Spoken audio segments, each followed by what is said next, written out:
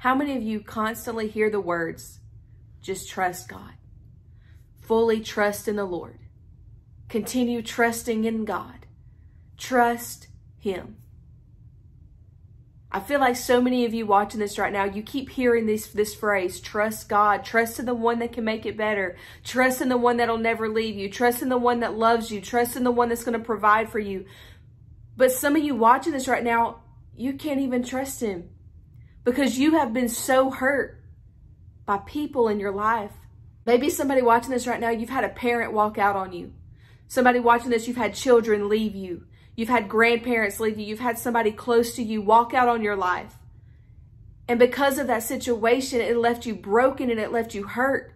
It left you feeling abandoned. But now you think that God is going to be the same way. You think that if you trust him and you get close to him, he's just going to abandon you. He's going to leave you. He's going to walk out on you. That's how you feel. That's how some of you feel right now. But I come on here to tell you today, friend, that God is not like the one that hurt you. God is not like the one that walked out on you. He never will hurt you. He's never going to leave you. He's never going to walk out on your life.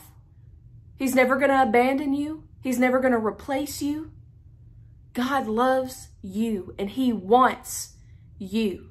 Somebody watching this right now, you've been neglected by so many family, friends, and it's made you isolated, just all alone. God wants you to know right now, he wants you. He accepts you. He wants you.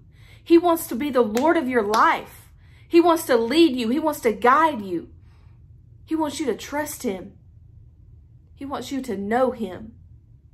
To the one who's hurting right now and who is afraid to trust, I want to pray for you if that's okay. This video is for you. It got to you today because God wants you to trust him. And God wants you to stop comparing him to those that have hurt you. So let's pray. Father, I pray right now for this one, God. God, you see them right now.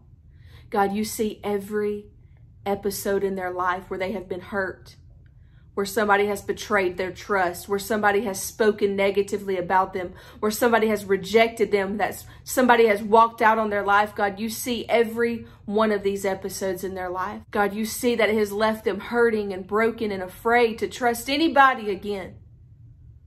But Lord, I just pray right now, God, that you would heal their heart so that they can trust in you. God, heal their heart today. Restore what was stolen from them, God. Restore back everything that the enemy meant to destroy them with. In the name of Jesus, restore them, God. Help them to trust in you. God, I thank you that your word says you never leave us nor forsake us, God. Remind this one of that today. God, I pray that they would just feel right now in this moment that they would feel the love of the Father. in Jesus' name. Amen. I know sometimes it can be hard to trust. I went through things in my life too that caused me to have a fear of trusting not only God, but just people in my life. My husband, my parents, my friends, I had a hard time trusting them sometimes because of things that I went through. But I'm here to tell you today, God healed and restored me. And if he can do it for me, he can do it for you. I love you, friend. I'll see you next time right here on the channel.